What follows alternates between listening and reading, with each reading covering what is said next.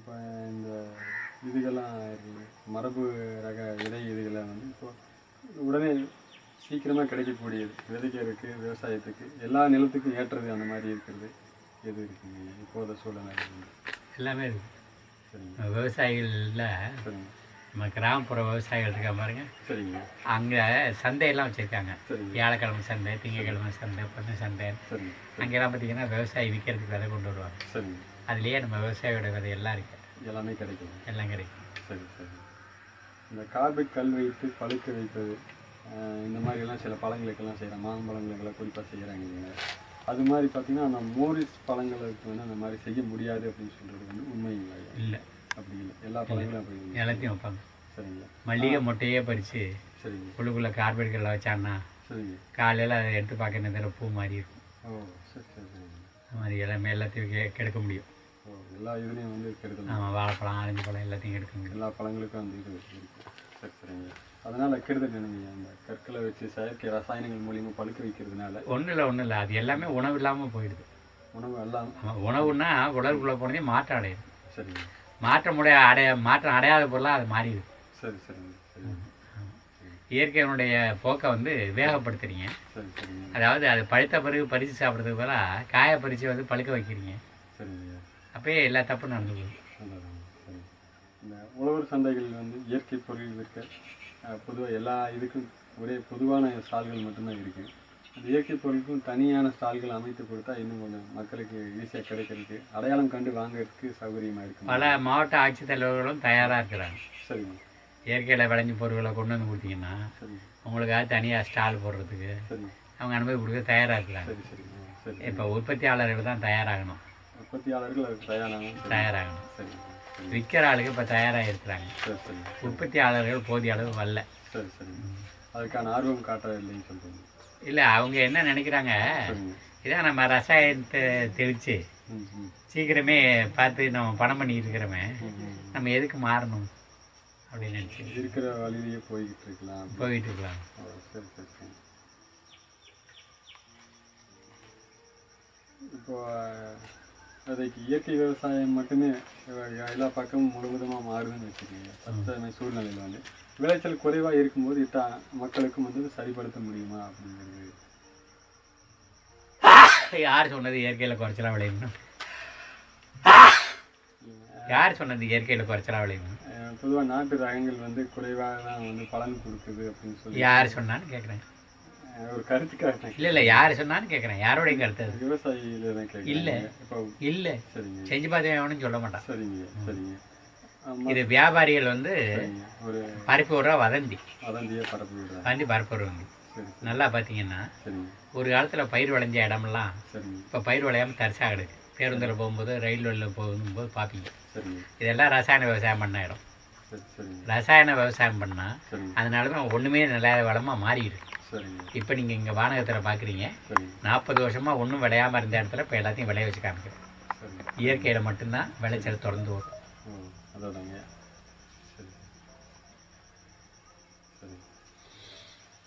வறட்சி பிரதேசங்களில் எந்த மாதிரியான பயிர்களை வந்து சாகுபடி பண்ணுவாங்க? நம்ம புஞ்ச நில தானியங்கள் இருக்கு பாருங்க. இதை நவதானியங்கள்னு சொல்லுவாங்க. எல்லாமே சோளம். கம்பு வரகு கேழ்வரகு குதிரவாளி சாமை தினை காடைக்கன்னி கொள்ளு துவரை எள்ளு தட்டைப்பயிறு ஆமணக்கு எல்லாம் நல்லா வரும். எல்லாமே உணவு. குறைவாக இருந்தாலும் அந்த ரகங்களை அரிசி கோதுமையோட சத்து மிகுந்த தானியங்கள் நெல்லுக்கு தேவைப்படுற பத்து ரூபா பத்து தண்ணி இருந்தால் விளைஞ்சு போயிடும். சரி சரி எல்லாத்தையும் கலந்து வரைக்கணும் அதான் ஒவ்வொரு நிலத்துக்கும் பத்து பன்னெண்டு தானியங்கள் இருக்கணும் அதான். ஒரு வருஷம் கோடை அதிகமாகி ஒரு வருஷம் குளிர் அதிகமாகி இதில் ஒன்று ரெண்டு விளையாம போனாலும். பத்து பொருள் விளைஞ்சிரும். ம் ம். அதனால் பன்னெண்டு பதினஞ்சு தானியங்களை சேர்த்து விதைக்கணும். சரி சரிங்க. எல்லாமே கலந்து விதைக்கணும். கடுகு சோம்பு ஆமணக்கெல்லாம் அப்ப- நிலத்தோட ஓரத்தில் மட்டும் வரலாம். ஒரு பாகத்துக்கு ஒருக்கா வந்து துவரையோட வரிசை இருக்கலாம் மொச்சையோட வரிசை இருக்கலாம். தானியங்கள் மற்றதெல்லாம் கலந்து எல்லா இடத்துலையும் இருக்கலாம். ஒவ்வொரு தடவை காட்டுக்கு போகும்போது ஏதோ ஒரு அறுவடையோடு வருவாங்க. எல்லாத்துக்கும் ஒரே வயசு கிடையாது. அதனால் இப்போ பருவகாலம் ஒவ்வொரு பருவகாலம் முழுதும் வருவாய் வந்துக்கிட்டே இருக்கும். குறுகிய காலங்களில் வந்து பலன் கொடுக்கக்கூடிய மாதிரி ரகங்கள் என்னென்னலாம் விதைக்கலாம். சாதாரண நம்ம முளைக்கீரை அரைக்கீரையெல்லாம் இருபத்தஞ்சி நாளில் பறிக்கலாம். சரிங்க. முள்ளங்கி இருபத்தஞ்சி நாளில் பறிக்கலாம். சரிங்க. நம்ம ஆவணுக்கு வெண்டையெல்லாம் முப்பத்தி ரெண்டு நாளில் பறிக்கலாம். சரிங்க. வெங்காயம் வந்து நாற்பத்தெட்டு நாளில் பறிக்கலாம் அறுபது நாளில் பறிக்கலாம். மக்காச்சோளம் அறுபத்தஞ்சு நாளில் பறிக்கலாம். சரிங்க. பாசிப்பயிறு வந்து அறுபத்தஞ்சு நாளில் பறிக்கலாம் உளுந்து அறுபத்தஞ்சு நாளில் பறிக்கலாம். மற்ற எல்லா தண்ணிகளும் தொண்ணூறு நாளில் பறிக்கலாம். அறுபதாவது நாளே வந்து கத்திரிக்காயை பறிக்க ஆரம்பிச்சிடலாம். சரி. தக்காளி பறிக்க ஆரம்பிச்சிடலாம். சரி சரி. எல்லாமே குறுகிய காலம் தான் சரி. சரிங்க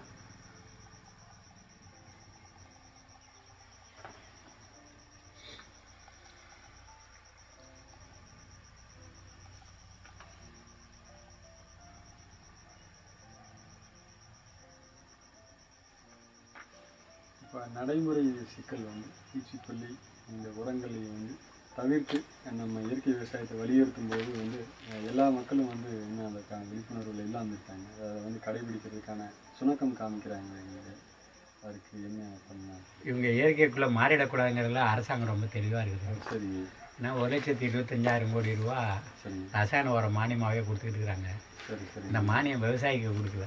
இவங்க தான் இல்லை இல்லை. இல்லை இல்லை. அந்த உரம் முதலாளி கொடுக்குறாங்க. சரி அவன் உற்பத்தி பண்ணி சாக்கில் அடக்குறான் பாருங்க. சரிங்க. அதை பார்த்து சரிவேர் கொடுத்ததுமே மானியம் அவனுக்கு போயிடுது. சரி சரி. இவங்க பேர் விவசாய மானியம் விவசாய மானியம்னு இவங்க எழுதுறாங்க. சரிங்க. உண்மையில் இவனுக்கு வரல அது. சரி சரிங்க. ஆனால் இவன் என்ன நினைக்கிறான்? அவனுக்கு கொடுக்கறதுனால நமக்கு உரம் மலிவாக கிடைக்குது. அப்படின்னு சொல்லிட்டு அது மலிவாக கிடைக்குங்கிறதுனால சரிங்க. நான் இதுக்கு கஷ்டப்பட்டு மற்றவெல்லாம் பண்ணிட்டு இருக்கணும். அப்படின்னு அவர் ஒரு நிலை எடுக்கிறார். மற்றபடி விவசாயி இயற்கைக்குள்ளே மாறிடக்கூடாதுங்கிறதுல சரிங்க அரசாங்கம் ரொம்ப தெளிவான முடிவாக இருக்கு.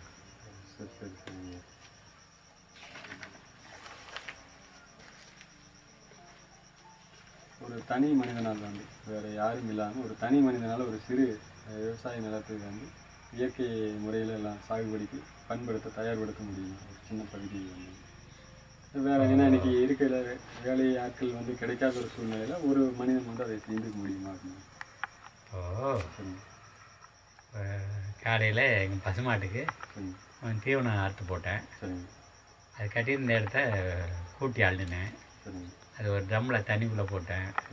அது மூத்தனை செமிச்சு வச்சுருந்தோம் அதையும் எடுத்து ஊற்றினேன் அதை எடுத்து மறுபடியும் தீவனங்கள் பயிர் பண்ணியிருந்த இடத்துல ஊற்றினேன் எங்கள் பழமரங்கள் பயிர் பண்ணியிருக்கோம் பாருங்க. வாழை கொய்யா சப்போட்டா மா அதுக்கெல்லாம் ஊற்றினேன் அது பாட்டு விளையுது. ம்.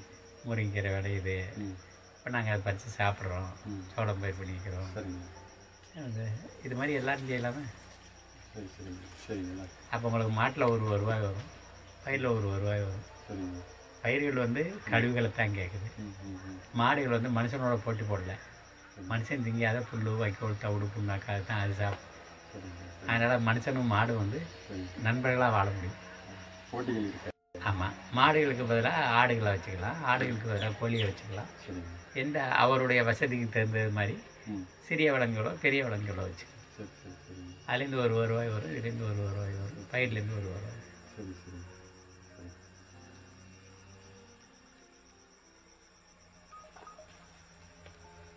இந்த கேள்வி வந்து ஏற்கனவே நீங்கள் விதை சொல்லியிருக்கீங்க அதாவது இயற்கை வேளாண்மை வந்து அரசு சட்டம் ஆக்கணும் சிறப்பு அல்லவா இதை ஏன் கட்டாயப்படுத்தக்கூடாது அப்படின்னு சொல்லிட்டு ஒரு விவசாயி கேள்வி.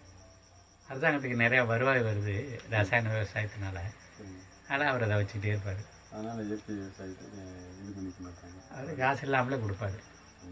காசு இல்லாமலே அரிசியை கொடுப்பாரு. அவர் வேலை செய்யாமல் பார்த்துக்குவார் வேலை செஞ்சிட்டாருன்னா இவர் இந்த காசுலாம் கொடுக்குற அரிசியை வாங்க மாட்டார் அவர். ஏன்னா இதை மாடு கூட திங்க மாட்டேங்குது கோழி கூட திங்க மாட்டேங்குது நாய் கூட திங்க மாட்டேங்குது. அதை நான் விவசாயத்தை வாங்கும்போது நல்ல பொருளாக வாங்குறாரு. ஆனால் நாய் கூட திங்க முடியாத மாற்றி தான் அதுக்கப்புறம் காசு இல்லாத அரிசியாக மக்கள்கிட்ட போயிட்டு அப்போது அந்த நெல்லாகி அரசாங்கத்துக்கு வர்றது அதை சேமிக்கிறது அதை அரிசியாக்குறது அதை மறுபடியும் விநியோகத்துக்கு கடைக்கு அனுப்புறது. இந்த போக்குகளில் சங்கிலியில் இருக்கிற ஓட்ட உடசல் வழியா ம். அரசியல்வாதிகளுக்கு நிறைய வருவாய் வரும். ஆகையினால அவங்க என்ன பண்ணுவாங்க? இதை தொடர்ந்து நீடிக்கிறதுக்கு வேணுங்கிறதெல்லாம் செய்வாங்க. இன்னொரு கேள்வி ம். நீரின் அளவு காலத்திற்கு காலம் குறைந்து கொண்டே இருக்கிறது. நீர் பக்க பற்றாக்குறையை வந்து சமாளிக்கிறதுக்கு என்னென்ன மாதிரியான திட்டங்கள் செய்ய முடியும் ஒன்றும் இல்லை. ஒரு பொறியாளரோட பேசியிருந்தேன். சரிங்க. முன்னாடி நம்ம அரசர்கள்லாம் ஆண்டுகிட்டு இருந்தாங்க. சரிங்க. அப்பாவே பிறந்த நாளுக்கு ஒரு கொலை வெட்டினான் ம். அது முடிச்சு விடுகிட்ட நாளில் ஒரு கொலை வெட்டினான். போரிட்டு எதிரியை வென்ற போது ஒரு கொலை வெட்டினான் எங்கள் மக்கள் தண்ணி இல்லைனாங்களோ அவங்க கொலை வெட்டினான் அன்றைக்கி வேர்ல்டு பேங்க்கும் கிடையாது ஐஎம்எஃப்பும் கிடையாது ஏசியன் பேங்க்கும் கிடையாது. ஆனால் இன்னைக்கு ஐஎம்எஃப்பில் கடை வாங்கியிருக்கோம் வேர்ல்டு பேங்க்கில் கடை வாங்கியிருக்கிறோம் ஆசியன் பேங்க்கில் கடை வாங்கியிருக்கிறோம். எங்கள் குளத்தை ஆழப்படுத்திக்க போகிறதோன்னு சொல்லி வாங்கியிருக்கிறோம். ஆனால் குளத்தை ஆழப்படுத்தலை. பணம் வந்து கசிஞ்சு போயிடுச்சு வேலை எங்கேயோ ஓட்ட போ மோட்டை போகுதுன்னு சொல்லுவாங்க விவசாயிகள். அதை நிலத்துல தண்ணி நிறுத்துவாங்க. வரப்பு கடியில் நண்டு போட்டிருந்த வழி ஓ ஓட்ட வழியா ஓட்டமடை போயிடும். அது பேர் மோட்டைன்னு சொல்லுவாங்க. மோட்டை. போகுதுன்னு சொல்லுவாங்க. அது மாதிரி நம்முடைய வரவு செலவு திட்டத்தில் நிறைய மோட்டை போகுது. ஆகையினால தண்ணி இல்லை. இப்போ இந்த ஆண்டு கூட வந்து தண்ணி இல்லைன்னு ஒரு ஆண்டா வந்து பத்து லட்சம் ஏக்கர் பயிர் காஞ்சுது. திருவாரூர் நாகை தஞ்சை மாவட்டங்களில். ஆனால் எங்கே எல்லாம் அவன் அந்த பாரம்பரிய நெல் பயிர் பண்ணியிருந்தானோ அங்கெல்லாம் அது விளைஞ்சு போச்சு. சரிங்க. விளைஞ்சு போச்சு. அவைகளுக்கு தண்ணி தேவையில்லை. தண்ணி நிறுத்த வேண்டியதில்லை. இயற்கையில் வந்து ஈரம் இருந்தால் போதும். அது பாட்டுக்கு வளரும் விளையும். இந்த மாதிரி விளைஞ்சு போச்சுன்னு வச்சுங்களேன் ஆனால் அது கொஞ்சம் தான் பத்து லட்சம் ஏக்கரில் பயிர் காஞ்சி போச்சு. இப்போது கர்நாடகாக்காரன் தண்ணி கொடுக்க மாட்டேங்கிறான். மத்திய அரசாங்கம் அதுக்கு வேணும் ஆவணம் செய்யலை. உச்ச நீதிமன்றம் தீர்ப்பு வழங்கலை. ஆனால் இயற்கை கொட்டை ஒன்று கொட்டி வெள்ளக்கதவை திறந்து வைக்க வேண்டியதாச்சு கர்நாடகாக்காரன். இப்போ வெள்ளமாக தண்ணி வருது. அப்போவும் என்ன பண்ணுறோம் ஒரு ஐம்பது டிஎம்சி தண்ணியை கடலில் கொண்டு விட்டுட்டோம். சேமிச்சு வைக்க இடம் இல்லை. இயற்கை கொடுக்குற தண்ணியை சேமித்து வைக்கிறதுக்கு இருக்கிற குளங்களை ஆழப்படுத்தி அவைகளை வந்து கா மனுஷன் கைகால் வ- வரா நினைக்காதபடி பார்த்துக்கணும்? இந்த ஆலைகளை வந்து ஆத்தங்கரையில் வச்சு சாக்கடை ஆற்றுக்குள்ளே விடாமல் பார்த்துக்கணும். நொய்யல் செத்து கிடக்கு பவானி செத்து கிடக்குது அமராவதி செத்து கிடக்கு காவேரி நஞ்சாவே வருது பாலாறு செத்து கிடக்குது. இது மாதிரி இந்த ஆறுகள் அத்தனையும் ஆலை வளர்ச்சிங்கிற பேரில் நஞ்சாக்காமல் இருந்தோம் அப்படின்னா ஏரி குளங்களை முப்பத்தொம்பதாயிரம் ஏரி குளங்களை ஆழப்படுத்திக்கிட்டோம் அப்படின்னா ஒன்றும் வேண்டியதில்லை நமக்கு தண்ணி பஞ்சமே இருக்காது.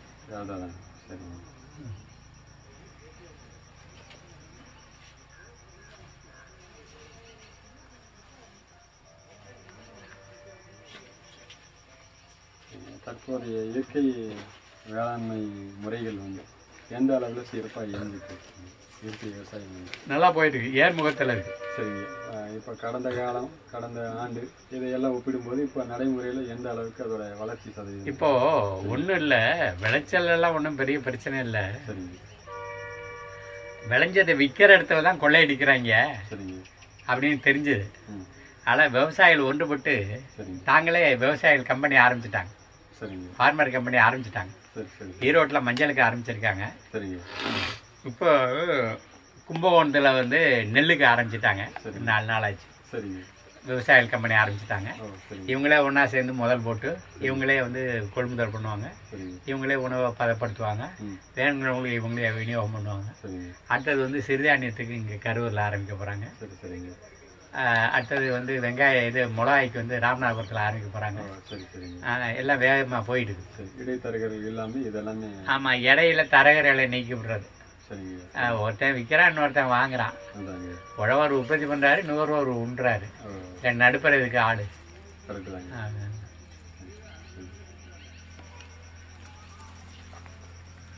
வறட்சி காலத்தை வந்து தாங்கி வளரக்கூடிய பயிர்கள் சிறப்பாக ஏதாவது இருக்குங்க நான் முன்னாடியே சொல்லியிருக்கேன்ல சரிங்க நவதானியங்கள் அந்த கேள்வியை பார்த்தீங்கன்னா தெரியும். எல்லாமே வறட்சியை தாங்கி வளர்றது தான். குறிப்பாக வந்து கால்நடைகளுடைய கழிவுகளும் தாவரங்களுடைய கழிவுகளும் பூமியில் சேர்ந்துக்கிடுச்சின்னு வச்சுங்களேன். அதில் ஈரப்பிடிப்பு அதிகமாகும். ஈரப்பிடிப்பு அதிகமாகும் போது நெல்லே சாகுபடி பண்ணி அறுத்து எடுத்துடலாம். ராமநாதபுரம் சிவகங்கை புதுக்கோட்டை அது தருமபுரி இங்கே எல்லாம் வந்து. புழுதியில தான் விளைச்சிடுறாங்க. சரிங்க மழை விழுந்தது முளைச்சி வளர்ந்து கடைசியில் வந்து நெல் அறுத்து அவங்க எடுத்துக்கிறாங்க. நம்ம எல்லாத்தையுமே செய்யலாம். ஆனால் என்ன செய்ய முடியாது? இந்த அரசாங்கம் கொடுத்த முக்கால் முளை நெல் பயிர் இருக்குல்ல அதை பயிர் பண்ணி எடுக்க முடியாது. அதுக்கு ரசாயன உரம் போட்டு எடுக்க முடியாது. ரசாயன உரம் போட்டிங்கன்னா நிறைய தண்ணியை நிறுத்தணும். இல்லை அப்படின்னு சொன்னாக்கா செடிக்குள்ளே இருக்கிற தண்ணி வெளியில் வந்துடும் இது வந்து. ஆஸ்மாசிஸ்ன்னு சொல்லுவாங்க. ஜவ்வூடு பரவுது சவ்வூடு பருவதம். அந்த செடியோட வேர் வந்து ஜவ்வா வேலை செய்யுது. அதனால இப்போ ரசாயனத்தை போட்டிங்கன்னா வெளியில் இருக்கிற தண்ணி வந்து அடர்த்தி அதிகமாகிடும் அதனால செடிக்குள்ள இருக்கிற தண்ணி வெளில வந்துடும் சரி அதனால் ரசாயனம் போடாமல் நீங்கள் விவசாயம் பண்ணீங்கன்னா செடிக்குள்ள இருக்கிற தண்ணி அடர்த்தியாக இருக்கும். ஆனால் வெளியில் இருக்கிற தண்ணி உள்ளுக்குள்ளே போகும். சின்ன விஷயம் அவ்வளோதான் சரி சரி. அறிவியல்ல சின்ன விஷயம். சரி சரிங்க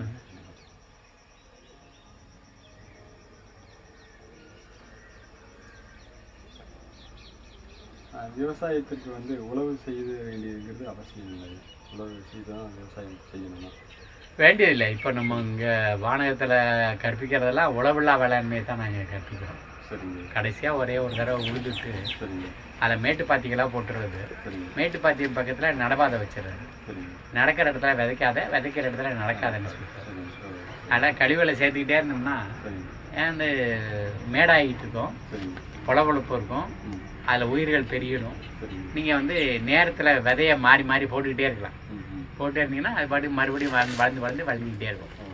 காட்டில் தான் நடக்குது. எப்போதுமே காட்டுக்குள்ளே தான் இருக்குது. காட்டுக்குள்ளே யாரும் யாரும் உழுவுறது பல விதமான செடி கொடி மரம்லாம் வளருது விளையுது என்ன செய்யுது? கால்நடைகள் தொடர்ந்து அங்கே ஏறு போட்டுக்கிட்டே அந்த இலை உதிர்ற இலதலைகள் குச்சிகள் எல்லாமே சேர்ந்து இந்த கால்நடை கழிவுகளோட சேர்ந்துக்கிட்டு பூமி வந்து மெத்த மாதிரி ஆயிடுது அது மழை ஈரத்தை பனி ஈரத்தை பிடிச்சி வச்சுக்கிட்டு செடி வளர்ச்சிக்கு ஆதாரமாக இருக்குது இதே மாதிரி நம்ம நிலத்தை வச்சுக்கிட்டோம்னா செய்ய முடியும்.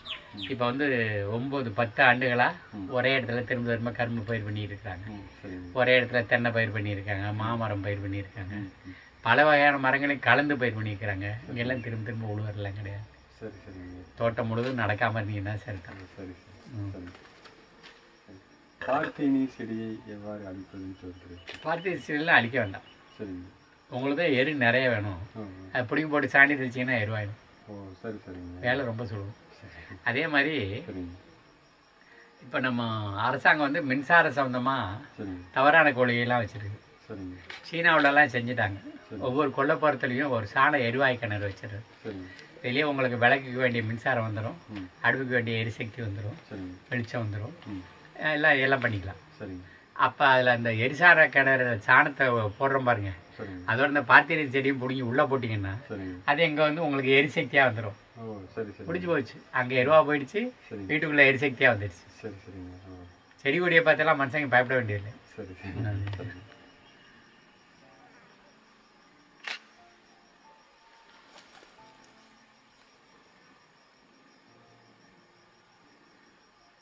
அதாவது இயற்கை விவசாயத்துலைங்க இந்த களைக்கொல்லிக்காக முன்பே வந்து இந்த கம்போஸ்ட் மாதிரி செய்யப்பட்ட இலைத்தலை உரங்கள் எல்லாம் போடுறதுக்கு வளர்ந்ததுக்கு பிற்பாடு அதுக்கு என்ன செய்யணும் அப்படின்னு?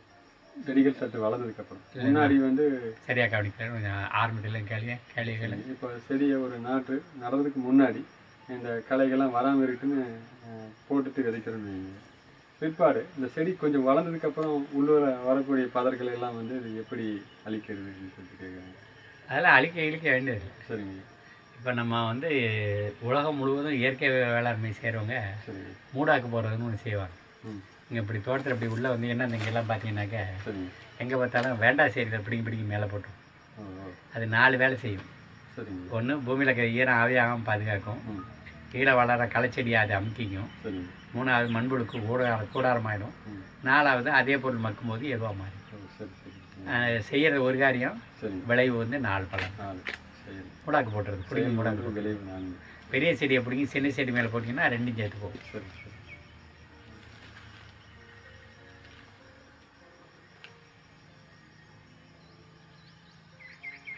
இயற்கை விவசாயம் எல்லா வகை மண்ணுக்கும் சாத்தியமா? அப்படின்னு கேட்டு- கேட்டிருக்கீங்க. மனுஷன் ரசாயனம் உபயோகிக்கிறதுக்கு முன்னாடி உலகம் முழுதும் அதான் இருந்துச்சு. இயற்கை தான் இருந்தது. இன்னமும் இருக்கும். எல்லா மனுஷனும் செத்து போனாலும் இருக்கும்.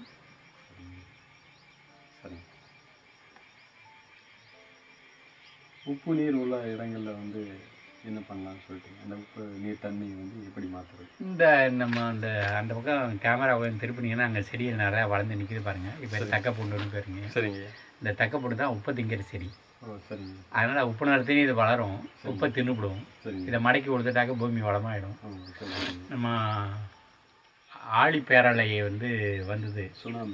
ஆமாம் அது நாகப்பட்டினம் பகுதியில் வந்து கடல் தண்ணி உள்ளுக்குள்ளே வந்துடுச்சு அந்த நிலத்தெல்லாம் மாற்றுறதுக்கு இந்த செடியை தான் பயன்படுத்தணும்.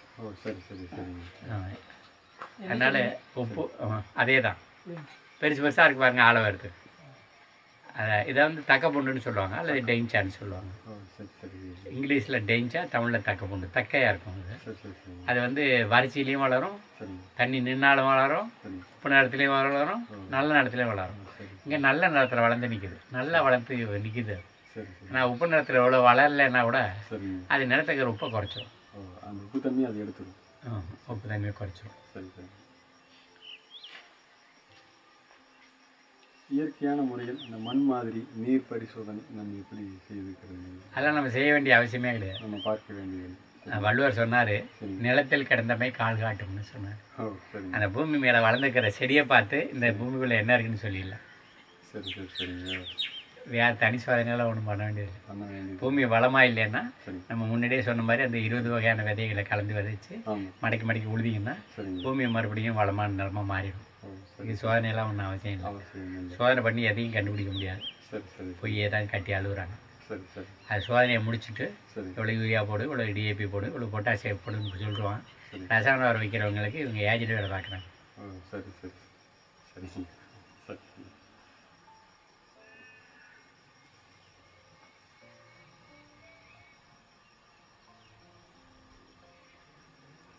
இப்போ மண்ணை பொறுத்தும் நீரை பொறுத்து அந்த விவசாய பயிர்களை வந்து தேர்வு செய்வது அவசியமா?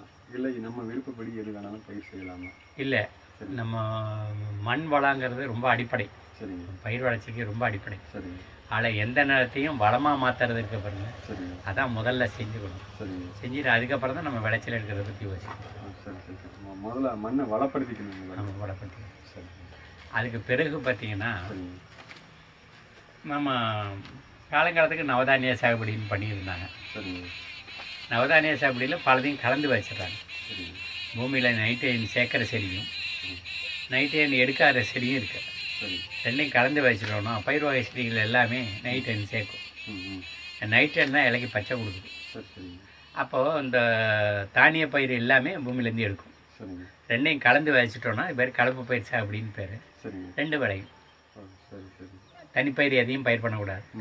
தமிழ்நாட்டை இந்தியாவை அழிச்சதில் இந்த தனிப்பயிர் சாகுபடி வந்து ரொம்ப முக்கியமான பங்கு வகிக்கும். ஓ. ஒருத்தனை கரும்பு மட்டுமே பயிர் பண்ண சொல்கிறது ஒருத்தனை பருத்தி மட்டுமே பயிர் பண்ண சொல்கிறது ஒருத்தனை நிலக்கடலை மட்டுமே பயிர் பண்ண சொல்கிறது அப்போ பூமியோட முழு பலனும் இந்த விவசாயி கிடைக்காம போயிடுது. அதே மாதிரி நெல் பயிர் பண்ணும்போது என்ன பண்ணுவான் நெல் அறுக்கிறதுக்கு முன்னாடி உளுந்து விதைப்பான் அல்லது பாசி பயிர் விதைப்பான் குளிஞ்சியை விதைப்பான் அவைகள்லாம் பூமியில் இருந்து பூமியை மூடி இருந்துக்கிட்டு அது பூமியில் எடுத்து சேர்த்துக்கிட்டே இருக்கும். மறுபடியும் வெள்ளம் வரும்போது மடக்கி கொடுத்துட்டு மறுபடியும் நில பயிர் பண்ணுவோம் இதை பயிர் சுழற்சின்னு சொல்கிறோம் சரி சரி. பயிர் சுழற்சியும் கலப்பு பயிர் சாகுபடியும் அப்படின்னு கொண்டு வந்துட்டோம்னா. வேறு நம்ம வெளியிலேருந்து எதுவும் கொடுக்க சரி சரி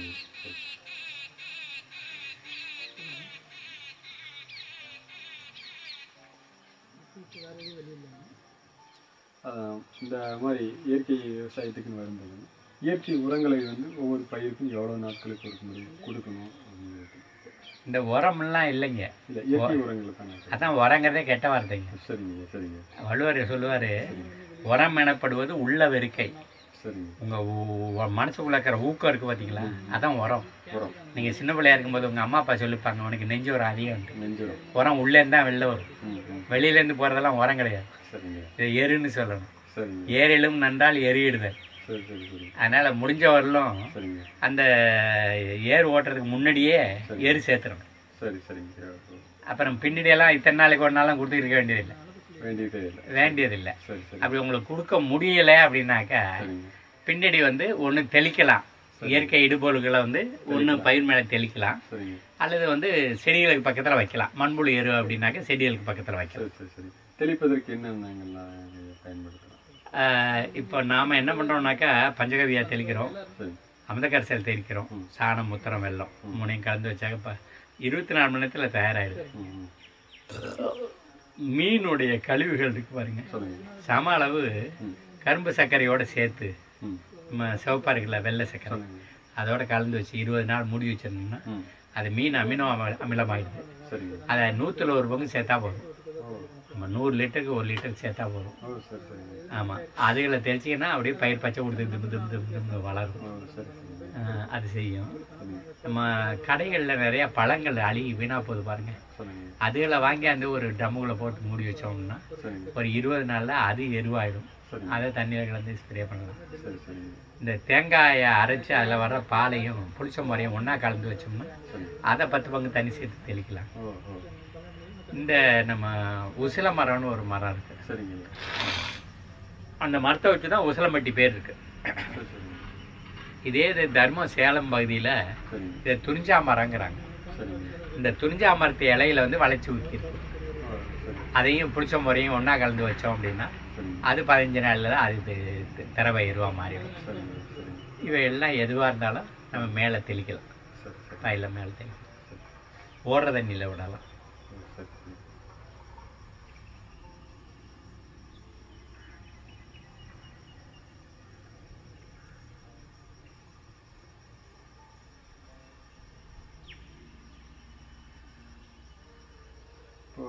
உதாரணத்துக்கு கரும்பு சாகுபடி பண்ணிட்டோன்னு வச்சுக்கோங்க ஒரு முறை விளைச்சல் அறுவடை பண்ணதுக்கப்புறம் மீண்டும் கரும்பையே வந்து பயிர் செய்யலாமா?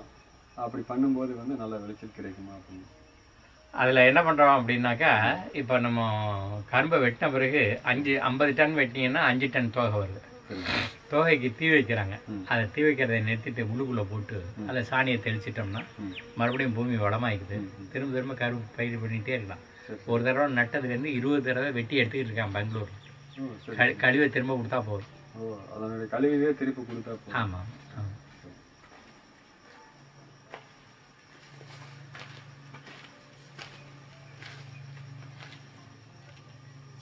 இப்போ நம்ம கரும்புக்கு அப்படி பண்ணிடலாம்னு சொல்லியிருந்தீங்க. அதே வந்து பத் கத்திரிக்காய் வந்து ஒரு விவசாயி பண்ணியிருக்காரு. தொடர்ந்து கத்திரிக்காய் பண்ணும்போது மகசூல் குறைஞ்சிட்டு வருது அப்படின்னு சொல்லி சொன்னாருங்க அவர் தெரிஞ்சு போச்சுன்னா அவர் மாற்றி செய்ய வேண்டியதான் அதானுங்க. அதுக்கு பதிலாக வேறு ப பயிர் ரகங்களை செய்யலாம். இப்போ இந்த கரும்பு பயிர் பண்ணும்போது சொன்னேன். சொல்லுங்க. ஐம்பது டன் அறுத்தாருன்னா அஞ்சு டன் அதில் தோகை வருதுன்னு சொன்னேன். அஞ்சு டன்னு திருப்பி போடுறோம். ஐயாயிரம் கிலோ கத்திரி செல்லில் எப்படி திருப்பி போடுவீங்க? திருப்பி போடுறதுக்கு அங்கே என்ன இருக்குது ம் சரி. எடுத்தா கொடுக்குறது இங்கே ஒன்றும் இல்லை. அதனால் வேறு பயிர் நீங்கள் பண்ணி தான் ஆகணும். அதான் சொன்னேன் ஒன்று கலவு பயிராக இருக்கணும் அதில் பயிர் சொல்லிச்சு.